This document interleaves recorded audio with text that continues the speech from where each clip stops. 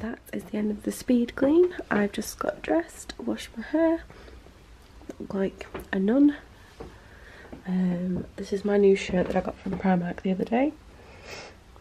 Um, I don't know how I feel about it. I'm being quiet because I'm finally having a nap, so just got dressed in some jeans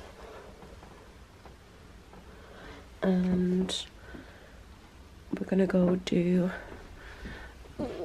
food shop I think so I'm just gonna say goodbye now go finish sorting out my hair and stuff. So bye